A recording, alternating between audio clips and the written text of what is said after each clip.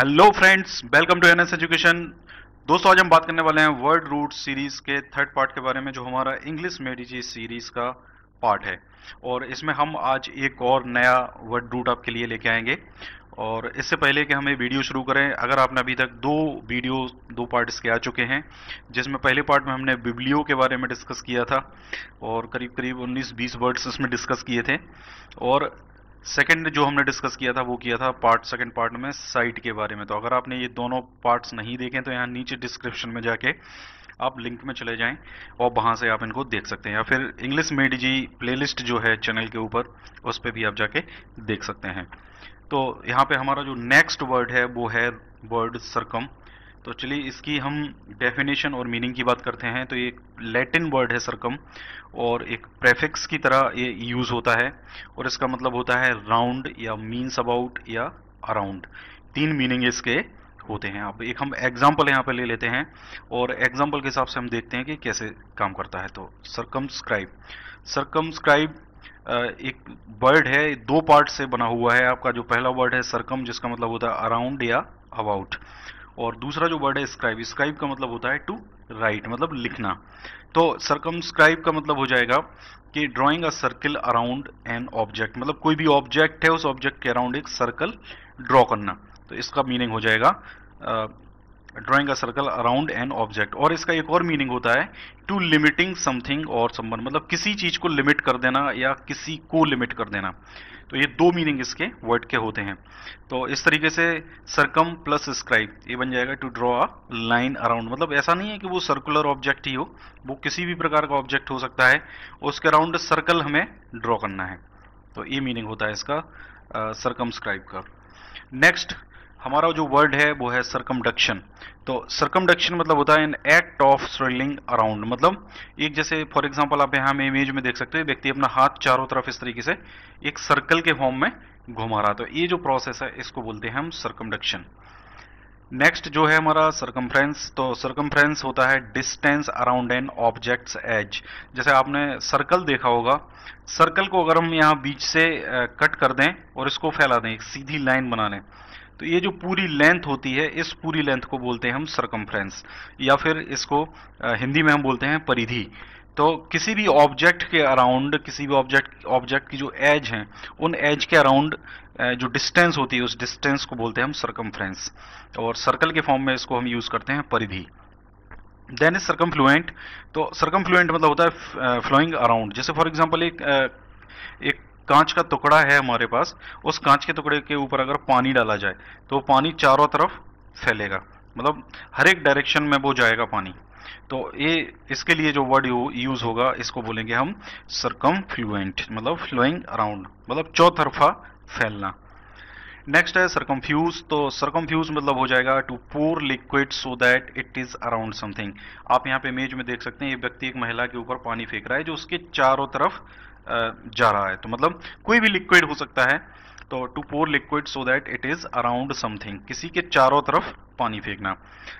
Next is circumgyration circum मतलब हो जाएगा स्वेलिंग अराउंड इट मतलब खुद के ही चारों तरफ़ आ, मतलब घूमना। जैसे एक पहिए में एक बच्चा बैठा हुआ है और ये पहिया चल रहा है। तो आप यहाँ पे देख सकते हो कि अपने बच्चा अपने ही चारों तरफ़ एक चक्कर लगा रहा है। तो यहाँ पे इस ये जो प्रोसेस होती है इसको बोलते हैं हम सरकम नेक्स्ट वर्ड है हमारा सरकम तो सरकम मतलब होता है सराउंडिंग या फिर बींग अराउंड समथिंग सराउंडिंग मतलब चारों तरफ़। जैसे फॉर एग्जांपल कोई ऑब्जेक्ट है, उस ऑब्जेक्ट के चारों तरफ़ जो भी होगा, वो उसकी सराउंडिंग्स होंगी। और बीइंग अराउंड समथिंग मतलब किसी चीज़ के अराउंड होना। जैसे आप यहाँ पे इमेज में भी देख सकते हैं ये कोई प्राणी है ये कोई लड़का है तो ये चारों तरफ़ इसके घुमावदार एक शेप बना के इन्होंने रखा हुआ है। तो इस तरीके से इसको हम इस यहाँ पे वर्ड यूज़ करेंगे सरकमजेसेंट ये दोनों एक दूसरे के सरकमजेसेंट हैं। Next is word circumlocution तो सरकम लोक्यूशन मतलब होता है आ राउंड अबाउट आ या फिर इनडायरेक्ट वे ऑफ़ स्पीकिंग या फिर एक और मीनिंग इसका होता है यूजिंग टू मैनी वर्ड्स जैसे फॉर एग्ज़ाम्पल अगर आपको किसी को कोई चीज़ समझाना हो और आप उसके लिए तैयार नहीं हो तो आप उसको कुछ भी अनाप शनाप बहुत सारे वर्ड्स यूज़ करोगे, कुछ ना कुछ उसको एक्सप्लेनेशन दोगे, लेकिन वो एक्सप्लेनेशन सही भी हो सकती है और गलत भी हो सकती है। तो इस तरीके के लिए जो प्रोसेस होती है, इसके लिए वर्ड यूज़ होता है सर्कम लोकेशन आप यहाँ पे देख सकते हो। एक कोई professor Cucumber uses circumlocution in his lectures अब वो लेक्चर जो डिलीवर कर रहे हैं, वो है in plant algae and cyanobacteria sugars are produced by subsequent sequences of light interdependent reactions called the Calvin cycle तो बहुत बहुत सारे वर्ड्स यहाँ पे उन्होंने यूज़ किए हुए हैं। तो यहाँ पे वर्ड यूज़ होगा कब circumlocution next is circumlunar तो सरकम दो वर्ड है यहाँ पे सरकम और लुनार लुनार मतलब होता है आपका मून एक टेक्निकल वर्ड जो यूज़ करते हैं चाँद के लिए, उसको बोलते हैं हम लुनार तो इस सरकम लुनार मतलब हो जाएगा अराउंड द मून जैसे फॉर एग्जांपल ये सैटेलाइट यहाँ पे है, ये मून के अराउंड घूम रहा है. तो इस, यहाँ पे हम बोलेंगे इसको circumlunar next is circummigration तो यहाँ पे दो वर्ड हैं सरकम एंड माइग्रेशन माइग्रेट जैसे आपने देखा होगा, जो पक्षी होते हैं, वो एक प्लेस से दूसरी प्लेस को माइग्रेट कर जाते हैं, मौसम के बदलते ही। तो इसी चीज़ को बोलते हैं moving around from place to place से। जैसे कोई कोई व्यक्ति भी है, वो एक प्लेस से दूसरी प्लेस पर वो जाता रहता है तो इसको बोलेंगे हम circummigration next is circummure तो सरकम म्योर मतलब हो जाएगा to build wall around something जैसे पुराने टाइम पे जो किले हुआ करते थे, उनके चारों तरफ़ एक दीवार बनी होती थी। वो उस किले की रक्षा करने के लिए बाउंड्री जिसको हम बोलते हैं, किले की दीवार। तो इसको बोलते हैं हम सरकम म्योर नेक्स्ट वर्ड है हमारा सरकम नेविगेट तो दो वर्ड यहाँ पे, एक नेविगेशन से बना है नेविगेट और ये बन गया आपका सरकम तो मतलब क्या हो गया? टू गो अराउंड तो यहाँ पे जैसे फॉर एग्जांपल ये शिप है, और ये शिप पूरी दुनिया के चक्कर लगा रहा है। तो यहाँ पे वर्ड यूज़ हम करेंगे सरकम नेविगेट तो यहाँ पे देखिए लिखा हुआ है circumnavigation complete next word है हमारा सरकम प्लेनेटरी तो दो वर्ड है यहाँ पे सरकम और प्लैनेट प्लैनेट मतलब होते हैं आपके ग्रह और सर्कम मतलब होता है अराउंड तो अराउंड आ प्लानिट आप यहाँ पे इमेज में भी देख सकते हैं। एक एक प्लानिट है और उसके अराउंड एक दूसरा चक्कर लगा रहा है उसके।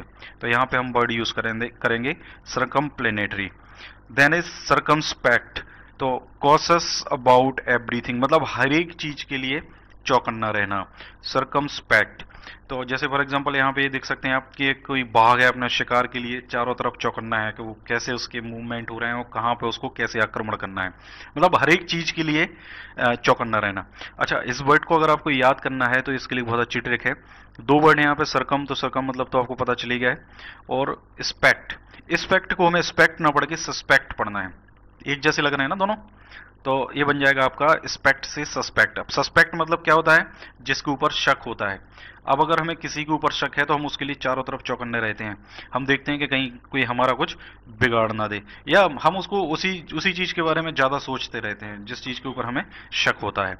इस तरीके से आप इस वर्ड को यूज़ याद कर सकते हैं। नेक्स्ट वर्ड है सरकमस्टेंस सरकमस्टेंस मतलब इसको हम बोलते हैं परिस्थिति। और जैसे affect that influences on an event और एक्शन हम बोलते हैं कि हमारी सरकमस्टेंसेज उतने टाइम पे बहुत अच्छी नहीं थी, इसलिए हमने ऐसा नहीं किया। तो यहाँ पे वर्ड यूज़ करेंगे हम circumstance circumstance does not make me it reveals me मतलब परिस्थितियों ने मुझे बनाया नहीं, उन्होंने मुझे रिवील किया। तो यहाँ पे हम इस तरीके के लिए यूज़ कर सकते हैं सरकमस्टेंस नेक्स्ट है सरकम तो दो वर्ड है यहाँ पे सरकम और टेरेस्ट्रियल तो मूविंग अराउंड द अर्थ जैसे चाँद है तो चाँद आपका अर्थ के चारों तरफ़ चक्कर लगाता है। तो यहाँ पे हम बोलेंगे इसको सरकम टेरेस्ट्रियल नेक्स्ट है सरकमवेंट तो circumvent to find a way around जैसे आप यहाँ पे देख सकते हैं, यहाँ पे दो दो पुलिस अधिकारी ये खड़े हुए हैं और एक कस्टम की पोस्ट है और यहाँ पे एक बंदा सामान लेके यहाँ से भाग रहा है। मतलब यहाँ से इसने कोई जगह ढूंढ दी है इन दोनों से बचने के लिए। या फिर दूसरा वर्ड होता है अवॉइड ओविंग द लॉ मतलब जो लॉ बनाए हैं, जैसे गवर्नमेंट ने जो लॉ बनाए हैं या किसी ऑर्गेनाइजेशन ने जो लॉ लॉज बनाए हैं, उनको ओवे ना करना मतलब उनको अवॉइड करना अवॉइड ओविंग द लॉ तो यहाँ पे हम यूज़ करते हैं सरकम वेंट का। नेक्स्ट है सरकम वोल्यूशन तो सरकम वोल्यूशन और एक एक ए वर्ड है सरकम ये दो वर्ड हैं तो ये इसका नाउन हो जाएगा और ये इसकी वर्ब हो जाएगी। तो सरकम बॉल मतलब होता है टू वाइंड अबाउट मतलब किसी एक एक्सेस है फॉर एग्जांपल उस एक्सेस के अराउंड घूमना टू वाइंड अबाउट तो यहाँ पे आप ये देख सकते हो इमेज में भी आपको समझ में आ रहा होगा, किस, किसी भी पर्टिकुलर एक, जैसे एक एक पॉइंट है, ये बिंदु है एक एक्सेस है, इसके अराउंड एक घूम रहा है बाइंड कर रहा है अपने आप को। तो सरकम वॉल्व इसको बोलेंगे। ऐसे यहाँ पे भी आप देख सकते हैं अब movement of winding of something around another मतलब एक चीज़ का दूसरी चीज़ के अराउंड घूमना वाइंड करना, इस चीज़ को बोलेंगे हम सरकम तो दोस्तों, ये था हमारा सरगम वर्ड रूट तो आपको वीडियो कैसा लगा प्लीज़ कमेंट करके ज़रूर बताएँ। और अपने दोस्तों से शेयर ज़रूर करें वीडियोस ताकि वो भी इनका लाभ ले सकें। और आप जितना ज़्यादा वीडियोस को शेयर करेंगे, मुझे उतना ज़्यादा मोटिवेशन मिलेगा। मैं सोचूँगा कि आपको वीडियोस पसंद आ रहे हैं तो फिर मैं आपके लिए और वीडियोस लेके आऊँगा। और चैनल को ज़रूर सब्सक्राइब करें, ताकि आपको आगे आने वाले वीडियोज़ के नोटिफिकेशन मिलते रहें। Thank you thank you